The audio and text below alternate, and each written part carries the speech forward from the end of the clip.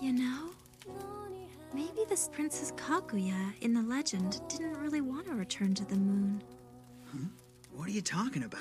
A shooting star! Hmm? Hurry, make a wish!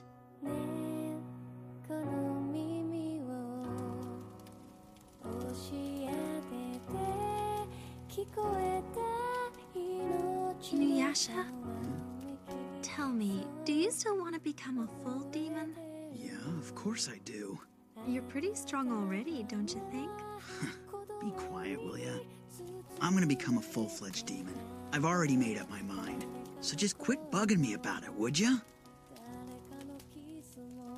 I've been thinking, there's nothing wrong with staying the way you are. I mean, why not stay a half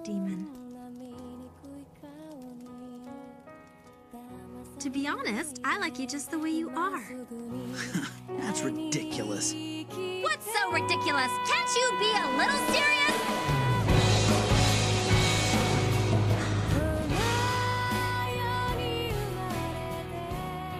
What is it now? Inuyasha, you just Come on, spit it out.